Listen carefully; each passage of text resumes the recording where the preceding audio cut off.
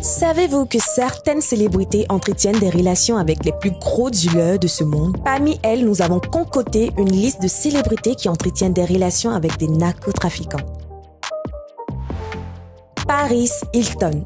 La nouvelle romance présumée entre la magnifique Paris Hilton et le sanguinario narcotrafiquant de Sinaloa Rodrigo Arechiga, mieux connu sous le nom de El Chino Antras, a sans aucun doute fait le tour du monde. Certains médias de l'émission américaine sont ceux qui ont commencé avec cette rumeur et c'est qu'une série de photographies a été publiée où vous pouvez les voir de très près lors d'un événement de boss dans la ville de Las Vegas au Nevada. Ce jeune criminel qui est actuellement en prison avait l'habitude de présumer son style de vie de luxe sur différents réseaux sociaux, ce qui nous fait penser que cette romance a bien pu se produire.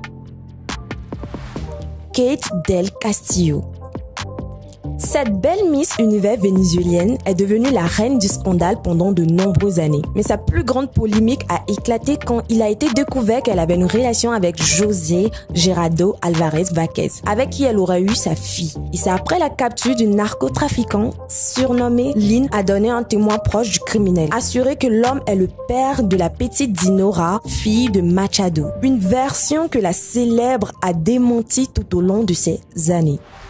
Alejandra Guzman.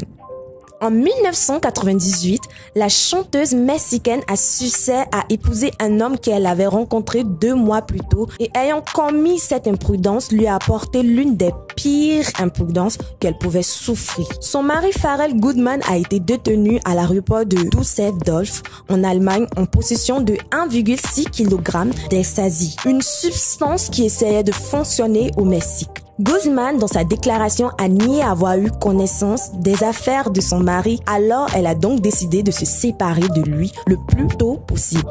De son côté, Goodman a été condamné à 9 mois de prison pour ce litige.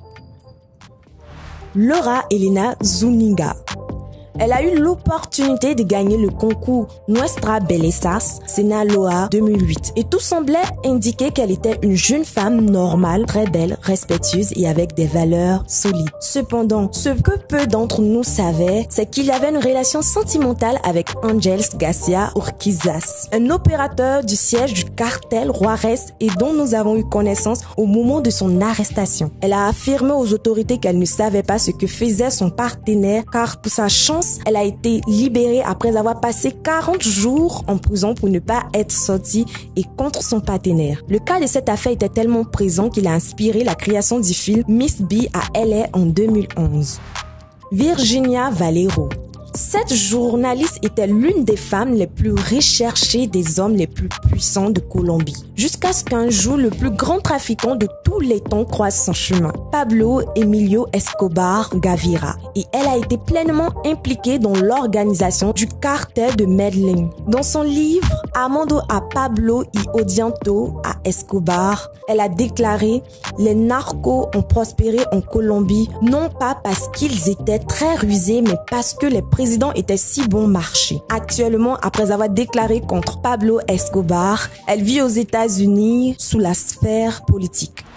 Selon vous, laquelle des relations des célébrités avec des narcotrafiquants vous a le plus choqué? Laissez votre avis en commentaire. Je vous dis à très bientôt pour un nouveau news.